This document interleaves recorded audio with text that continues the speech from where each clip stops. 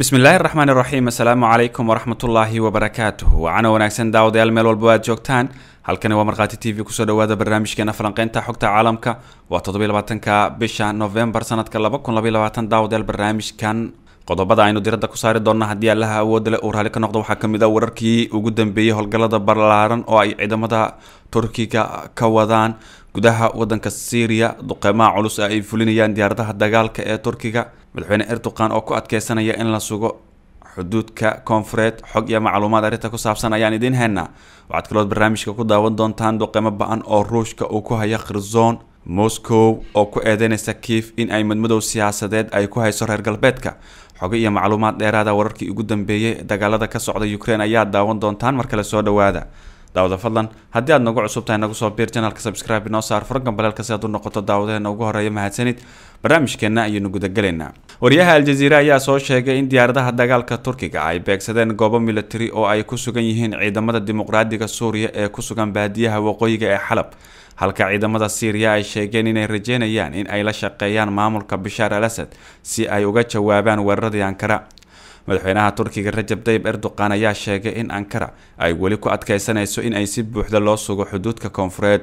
warbaahinta ku dhow waxa loo yaqaano xoogaga dimuqraadiga syriya ayaa sheegay in ciidamada turkiga ay la beegsadeen madaafiic culus agagaarka magaalada dalrifat ee baadiyaha waqooyiga xalab iyo saddex tuulo oo raacsan ayn al carab oo ku taalla xadka syriya iyo turkiga ee waqooyiga syriya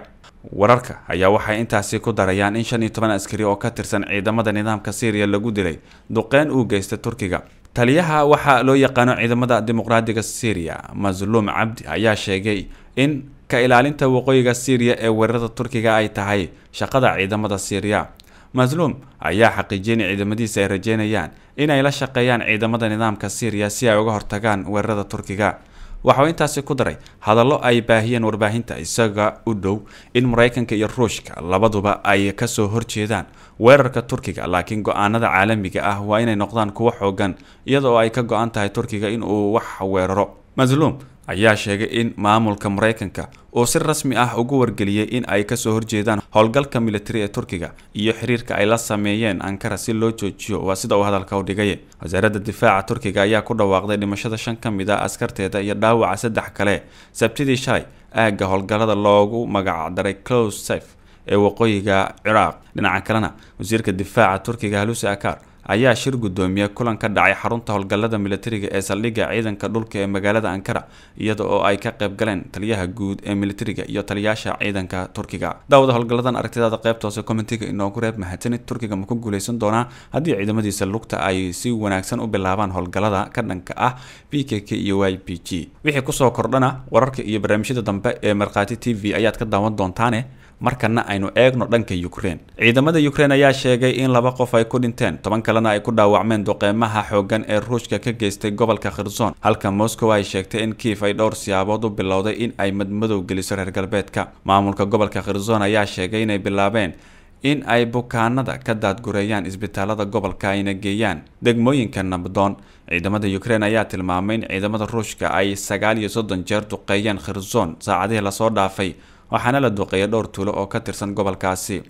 Maamulka ukraine ayaa sidoo kale sheegay in kaabayaasha dhaqaalaha ay waxyeelo soo gaartay waxayna ku taliyeen dadka degan gobolka inay isaga baxaan. Madaxweynaha ukraine valadimir zelenski ayaa waxa uu shaaca ka qaaday in in ka badan lix milyan oo qoys oo dalkiisa ah ay hadda la ildaran yihiin koronto la'aan kadib weeraradii ruushka ee dhowaan. Zelenski waxa uu intaasi ku daray in xaaladda ay khuseyso kiif isaga oo tilmaamay in meelaha ku xiran caasimadda ay inta badan saameysay koronto la'aanta iyo sidoo kale biyo la'aanta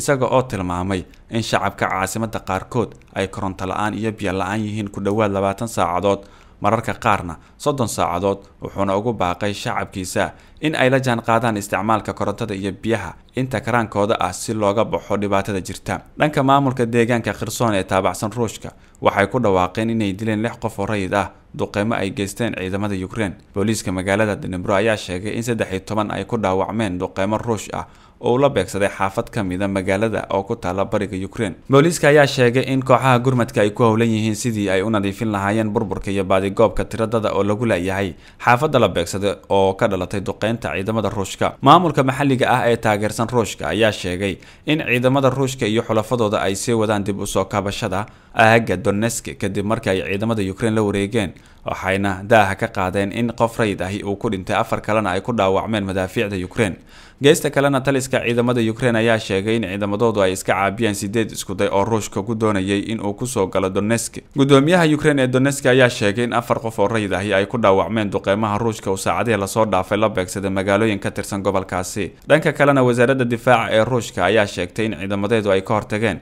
iskudayo weerar oo ay doonayeen ciidamada ukraine oo ay taageerayaan kooxaha xeeladeysan inay ku qaadaan dhowr goobood oo ku yaalla donesk iyo lohansig afhayeen u hadlay wasaaradda difaaca federaalka ruushka ayaa sheegay in ciidamada cirka ee ruushka ay bartilmaameysadeen shan talisyada iyo xarumaha madaafiicda ee ukraine oo ku yaalla magaalada kharkiif ayna soo rideen saddex diyaaradood oo aan duuliyaha lahayn ah islamarkaana ay qabteen afar gantaal oo himaaris ah gobolka khirson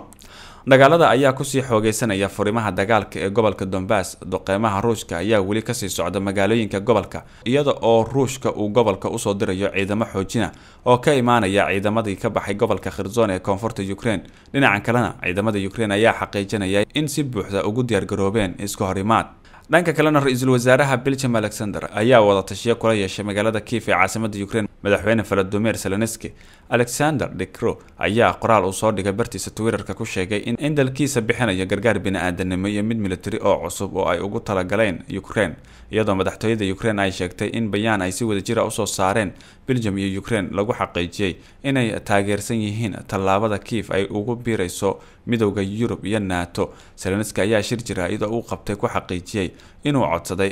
taageero militari oo caalami ah oo dalkiisa ah halka madaxtooyada ukraine ay sheegtay in ay bayaan wadajir ah oo labadan dal soo saareen lagu xaqiijiyay in kiif uu ku biiray midowda yurub iyo nato. Zelenski ayaa shir jira-id oo uu qabtay ku xaqiijiyey inuu ka codsaday taageero militari oo caalami ah oo dalkiisa la siiyo. Afhayeenka wasaaradda arrimaha dibadda ee ruushka maria zakrofa ayaa waraysi ay bixisay waxay ku sheegtay in dalalka reer galbeedka ay fahmeen in zelenski uu ka baxay gacantooda oo dhan iyo sidoo kale